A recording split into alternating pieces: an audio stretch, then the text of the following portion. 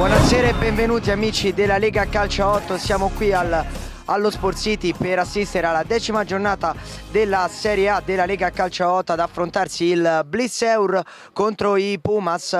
Rigida, anche lui uomo cardine della formazione dei Pumas, formazione che l'anno scorso ha vinto il girone del Centocelle, intanto qui ci prova con il destro il numero 10 del Briseur Guarrasi diretto avversario poi riscarico verso Aquino finta di andare con il destro poi si sposta il pallone sul mancino. Ora Maramau prova da fermo incredibile che bel tiro da parte di Marco Maramau ci prova il numero 5, poi l'appoggio verso Ballanti, gira di prima verso Maramao, ancora Quino, bello il piatto a servire Maramao che prova con il mancino, il pallone rimane lì e il 2-0 del Bisseur porta la firma di Marco Maramao, primo gol in maglia verde per lui, il Blisseur, prima Guarrazzi, poi Maramao, doppio vantaggio, ma ora Nonni ci va con l'esterno destro, corner il numero 10 dei Pumas, pallone all'indietro verso Nica punta Gavino, va col destro secco Nica, 2 a 1 riapre il match. Il numero 5, il regista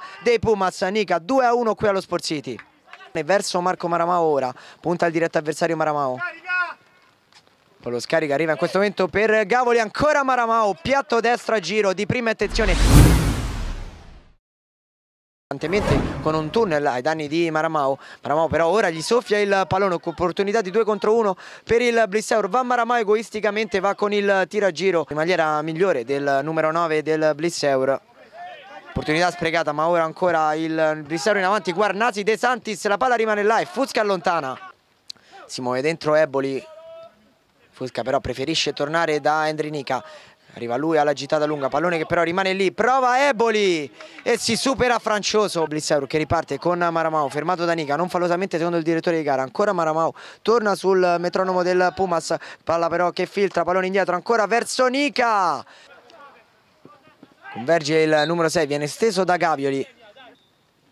Va Coco alla battuta, il pallone filtra, poi ci prova Nonni, Galvanin mette dietro verso il numero 6 e c'è il pareggio dei Pumas, ci ha pensato Vita Colonna, 2 a 2 qui allo Sport City, ancora tutto in equilibrio risultato.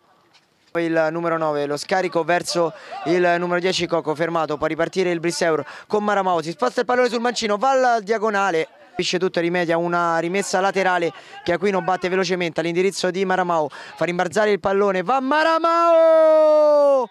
Un gol pazzesco! Marco Maramao 3 a 2 qui allo Sport City. Si aspetta solo il fischio finale da parte del direttore di gara che arriva in questo momento. Il Blisseur batte allo scadere 3 a 2 il Pumas. Innanzitutto io vorrei ringraziare la famiglia Testa perché si sono dimostrati subito disponibili per il bene del ragazzo che comunque voleva giocare.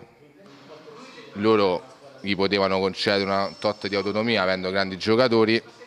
Hanno provato a trattenerlo, si sono parlati, hanno deciso per il bene del ragazzo. Noi lo vogliamo ringraziare perché sono stati disponibili, corretti, repentini. Io credo che dovrebbe essere questo lo spirito della, di questa competizione perché comunque è una competizione amatoriale. Marco lo sappiamo che giocatore è, siamo felicissimi di averlo portato da noi, cercheremo di farlo rimanere fino a fine anno, questo è sicuro.